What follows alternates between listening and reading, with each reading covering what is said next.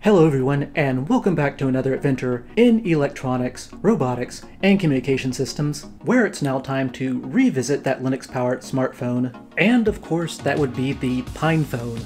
To briefly recap that first video, this is a Linux-powered smartphone, and it focuses on configurability and open documentation. This is a product of the Pine64 company, and the company itself does actually encourage their users to make modifications and repair the phone as they see fit.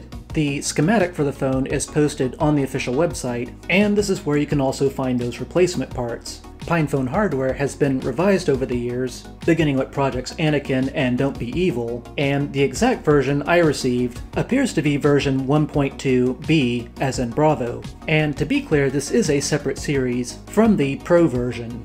Pine64 handles the hardware design, and it curates its own official documentation. The Linux distribution and the apps that run on top of it are going to be another matter. These are provided by the Linux community itself, so in my case, if I have issues with the operating system, it is best for me to report those to that Linux project itself. By default, the phone I purchased arrived with Manjaro ARM, and it uses the Plasma Mobile desktop environment. If I'm being honest, this operating system, or the distribution, is a bit of a mixed bag, and there were technical problems that I'll get into later, although many were fixed by doing updates. Performance-wise, the processor is an Allwinner A64 quad-core, and this does have a integrated graphics processing unit, or GPU. The A64 itself is based on an ARM Cortex A53 and ARM's AArch64 instruction set. In other words, any operating system you try to use is going to need ARM compatibility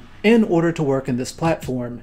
Wireless is provided by a Realtek Wi-Fi and Bluetooth module, and the cellular radio is a Quectel LTE Category 4 cellular modem.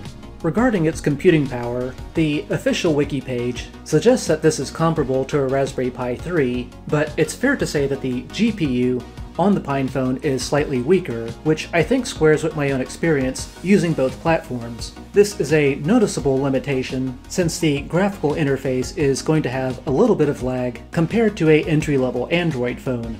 The image quality from the front and rear cameras also has some problems with limited color fidelity. It's a bit hard to tell if this is happening at the hardware level or at the application level, but because the Megapixels app seems to have a limited number of configurations, I am assuming for now that this is software related. Finally, compared to my other entry-level smartphones, the PinePhone screen seems more susceptible to cuts, abrasion, and a few people even report that their LCDs are being delaminated, although I haven't seen any sign of this happening myself. The good news is that the phone is extremely configurable and repairable. Applications and the operating system itself can be completely replaced, and doing so only requires reflashing the micro SD card, which is entirely optional. Once you remove the battery guard and charge the battery itself, the phone pretty much just works out of the box and you could just use the default operating system for the life of the phone. Now, in that previous video, I did get some good feedback that Postmarket OS and the Phosh environment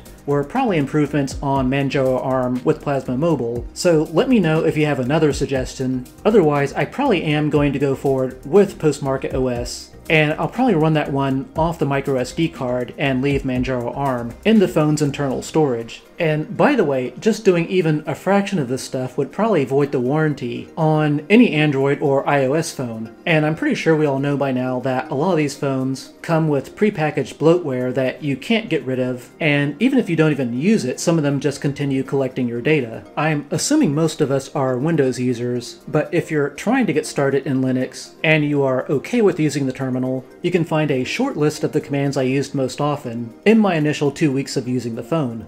I think the hardware and the documentation are pretty much on point, but I encountered a fairly serious problem with Manjaro ARM, and I was only able to fix it by logging in through SSH.